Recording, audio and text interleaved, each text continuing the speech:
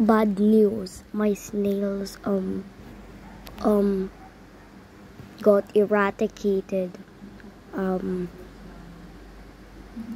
they ooh themselves because I forgot to feed them. And that happened five weeks ago. I mean five months ago.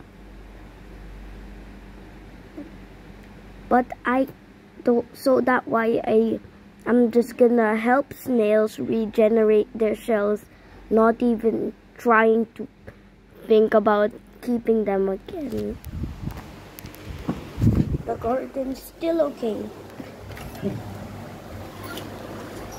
The garden's still okay, but but everything is so in danger. I don't want to ever Wait, what if I just get domesticated snails?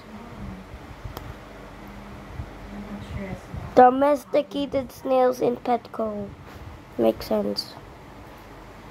Mba.